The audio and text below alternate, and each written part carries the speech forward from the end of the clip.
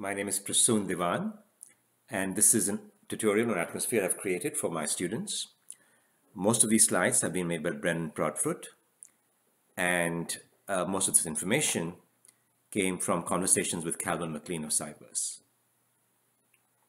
So this video was created uh, by recording a, a PowerPoint presentation I made, which is a great feature in PowerPoint but unfortunately it doesn't work well sometimes, uh, especially when your deck has uh, a lot of images. Uh, while recording, it seems that PowerPoint has trouble keeping the loading of the uh, images and your recording in sync, which in turn means that at the start of a slide, you'll often hear my voice clipped. And at the end of the slide, you will hear a long pause or a pause equal to the portion that it clipped. I've tried to fix the problem in a few slides when it was uh, glaring, um, but in some form it exists in almost every slide. Um, this is the PDF of the PowerPoint I used. Um, the PowerPoint has several URLs, so you can uh, use the PDF to directly navigate to those URLs. And this is the PowerPoint uh, deck where the slides are. And just in case these URLs get um, moved, uh, search for unique words in this presentation, which should take you at least to the PDF. So using Atmosphere is involved. It has many steps. And you need to start with this particular page, which is the Atmosphere page. Scroll down and click on User Management Portal. Take you to a form that is straightforward to fill. And once you fill it and submit it, you have a Cyverse account. Now you need access to Atmosphere. So your page and now go to the request access to Atmosphere link and another page, click on user management. Now click on Cyverse login, which you already have now, request access. And at this point, you need to give a reason for getting access to Atmosphere. If you're in my class, you might want to fill this information that Brennan filled in give your reasons, mention the name of the instructor, the email address, the class name, and register your request. Once your request is received, you will see on the, on the next screen that your request is pending. And once the request gets fulfilled, pending will go, will get replaced with uh, a link that says go to Atmosphere. Now this may take time because I believe a human being has to actually go and approve this. So you don't want to keep sitting there and refreshing your page. You will get an email notification. So wait for that. And uh, once you get that, go back again to the links that uh, are embedded in the email and, and you, you're all set with um, Atmosphere access. Your next task is to actually create an Atmosphere instance, which is really a computer in the cloud. So you should go and uh, go back to the atmosphere page and click on launch atmosphere. Now, when you create this computer in the cloud, you need some preloaded uh, software. You need an operating system, you need some software on top of that. So together, the uh, operating system and the loaded software form an image. And there are many images. And for my course, you need a, need a Java image. So in, image in the image search box, you can in general enter any tags. And uh, here we've entered the tag Java, which will give us two uh, images. And you want to take the top image, which is the one that Calvin created for us. And by clicking on it, you go uh, to that image. Each image has a URL. So you see the URL on the top of this page here. And if you enter this URL directly, you are taken directly to the image. You don't have to go through the search box. Okay. So now you should go and log in and point Atmosphere will ask you to put your new instance in a project. A project can have multiple instances, you can have multiple projects, and so you'll be asked to enter information about the project in which you want to put this image. And this is what Brennan put in and now your image is being, your instance is being created. That takes time. Even though this is automatic, it'll be a while. So you don't want to just sit there and keep refreshing. If you do so, at some point, if all goes well, your status will be active and you will get an IP address. So now you have a computer connected to the internet. Uh, but you should really just wait for the email. Um, and, and this can take time. It can take a few hours too. Uh, so, um, so uh, you, and in the email, you will have your username, um, which you, which you gave it, and you'll have the IP address of the computer. So we now have an instance and uh, with preloaded software. And what you might want to do is load some software of your own. So if you're doing my course, you've got you've, you've written Java programs, and you need to um, load them as jar files. So let's look at uh, what it takes to create the jar file, and then we'll go and look at the gen general idea of how to transfer files to an instance. So if you're in my course, you've been using, or if you're using Java, you're probably uh, using Eclipse.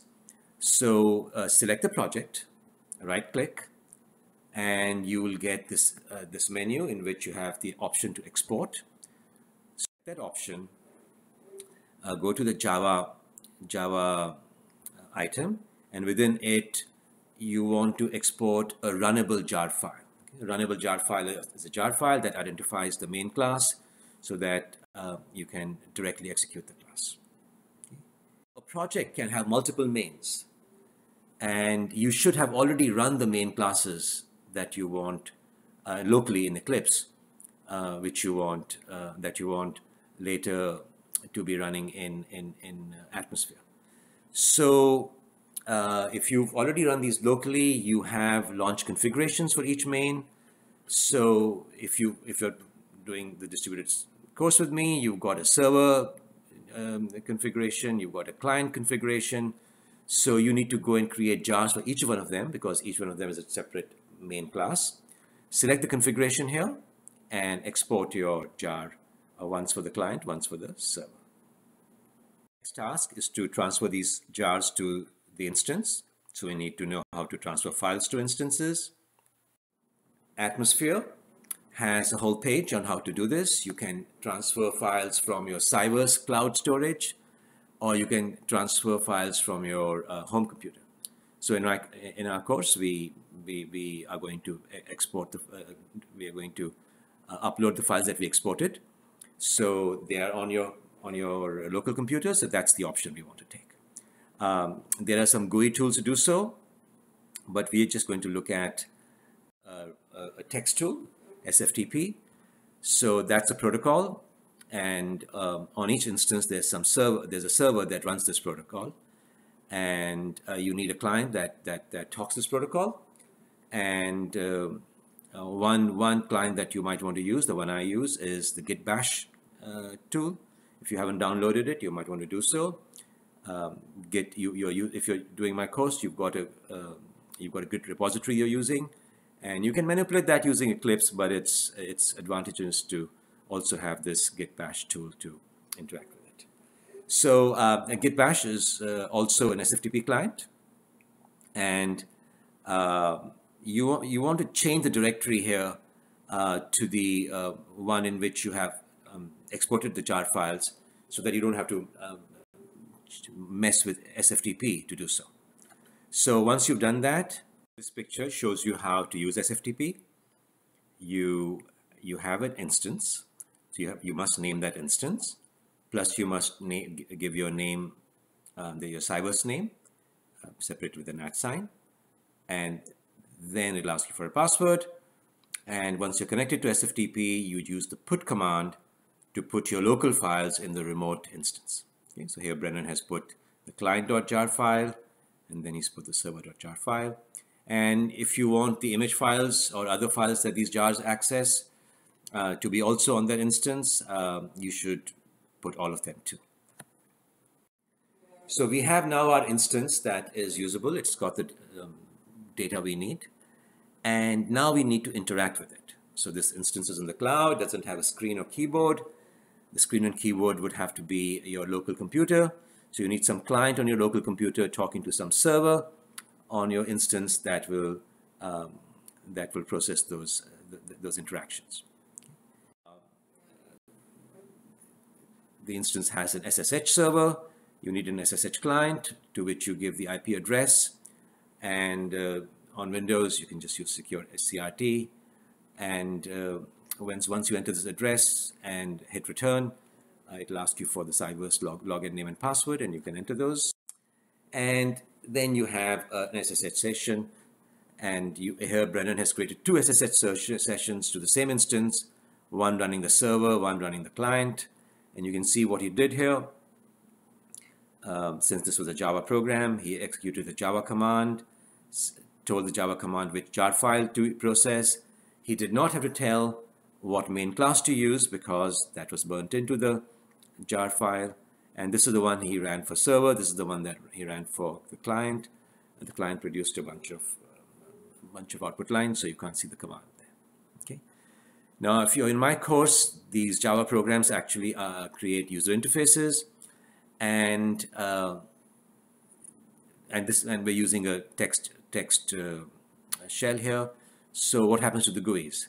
Um, if you run a, a, a, Java program that creates a GUI, um, the shell expects you to have an X server running on your computer. And if you're running Windows, you don't have an X server. If you're running Mac, I believe you do.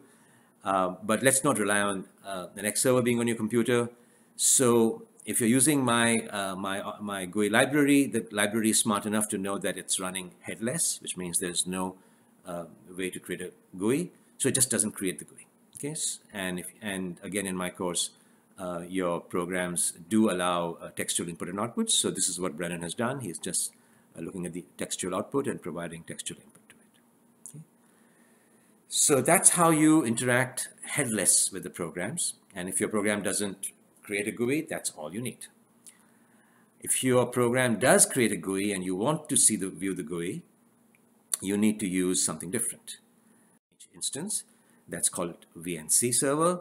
So you need a VNC client, and on Windows or on Mac, I believe it's it's the VNC viewer that that that this client is called. So search on the web for this VNC viewer, download it, run it. When you run it, this is the UI you'll get. You'll have to enter the IP address of the instance, and you have to and you can have multiple VNC servers running on an instance. You have to tell uh, tell the client which server to take, and and so you have to give a port number and in this case, the port number is 1. So that's what you do. You say um, IP address colon 1. Okay. You'll be asked to again enter your Cyverse uh, login name and password. You get your remote desktop. And uh, it'll give you an option to about the configuration to use. So just say default configuration. And, uh, and that'll give you a way to launch a a shell, and this shell will run locally in that instance. Okay, and so it's not uh, uh, it's not your secure CRT client talking to a server. It's just running right there. The commands it follows are the same as your as your remote shell did, uh, and so as your remote shell follows. And so again, Brennan, what he's done is said Java minus jar server.jar, but now this one is being executed directly on uh, on the instance and creates now this GUI. And again, what Brennan has done is created two of these um, uh, terminal emulators on the same instance. And in one of the terminal emulators, he's got the server running. In the other, he's got the client running. And uh, you have the same situation as you had with two shells running um, on your local computer, but you also have, but difference is that you also have a GUI. Now creating both the client and server on one instance is not that interesting because you could have done that on your local computer also. What's more interesting is to create the different parts of your distributed program on different instances. And that's what Brennan has done. And he's used the VNC viewer here to talk to all of them, all of these instances. So VNC viewer will cache the instances to which you've talked earlier, and you can just click on one of these icons to go to the right uh, instance. And you can see your instances by going to the projects tab um, in the atmosphere page. And that lists all your, all your instances. And you can see here that uh, some of these instances are suspended, some are active. So each instance of the computer, it takes resources that somebody else could be using. So you want to conserve them. Okay, so what I've done is I've suspended the, uh, the instances I'm not currently using. Um, and if you don't suspend your instances um, and run out of your quota, uh, then Atmosphere will automatically suspend them. And that you don't want to happen because then it takes for a while for you to build your quota again. It's like using up all your calling minutes and you need time to get your new calling minutes. So you want to explicitly suspend an instance if you're not using it. Okay, to do so, just click on the instance uh, and click on the instance uh, URL and you have a bunch of options. Use the suspend option. Okay? And now your instance after some time will, will, will get suspended and uh, and now you want to unsuspend it and when you unsuspend it you get a new IP address because the suspended um, instances as you see do not have uh, IP addresses. Okay. Deactivate, click on it and say resume. Uh, you could have deleted your instance and created a new instance, but that takes more time. And more important, your, um, your files are lost. Your uploaded files are lost because you're creating a new instance. So with res by resuming it, you should still have access to your uploaded files. But be careful. You have to be careful though. Um, I've had trouble um, resuming instances and I've got a deployment error once. And in this example here, uh, even after about 12 hours, it hasn't uh, unsuspended and it says it's networking. And I suspect it's not going to, it's hanging. So, um, so, so since there is that risk, uh, make sure that if you have any files that have been modified in the instance, uh, then before suspending it, be sure to download them to either the Cyverse cloud or to your local computer. Okay, so um, that's the basic um, way to interact with instances. Um, one issue that arises with the scarcity of instances, the fact that instances um, uh, take up resources, is how to share an instance among multiple users. Okay, so you might create an instance, your fellow student might create an instance, and each of you might want to use not only your instance, but your friend's instance also. Okay, so you want shared atmosphere instances. Uh, here's a URL that tells you exactly what to do to create a shared instance. And, uh, here I've followed the instructions. So um, if you're going to share an instance, you need to add a new user to your instance. Okay, you want to do that in the administrator or the or the or the uh, root mode, uh, and uh, Ubuntu has this command sudo, um, and just type it as as it's being typed here. And once you enter the correct password, uh, use some text editor. I'm using VI. I think uh, you, you also have access to Vim. Um, use some uh, editor to edit this file as slash etc slash group. Okay. That file, look for the entry, uh, the line beginning with users. Uh, it should have your user by default, a username by default. Add to it uh, the name of your uh, collaborator and uh, save the file and uh, then exit from the administrator mode. And now that user can use SSH to interact with that instance if the user, if, the, if, your friend wants to use VNC, it's a bit more involved. So as we saw earlier, to create a GUI, uh, you need uh, access to a VNC server. Um, each instance does come with a VNC server, but that's for the user who owns that instance. Each other user must enter the VNC server command, and uh, that command will tell you the port number uh, that uh, stands for that server. So use that port number uh, along with the instance name to interact with the uh, with the VNC server. Okay? And then, then the interaction is much as before. VNC server is a daemon process. That means if you kill the shell from which you started it, the VNC server will still remain so that VNC clients can keep talking to it. So if you want to get rid of the VNC server you created, um, execute the VNC server minus kill command uh, telling it which port number to use. So that's, uh, that's the discussion of Atmosphere. And uh, if you want more, uh, if you want other information or more information, you can look at the official YouTube, YouTube, videos created for Atmosphere by just going to YouTube and searching for these for Atmosphere iPlant. And of course, there's textual documentation on it.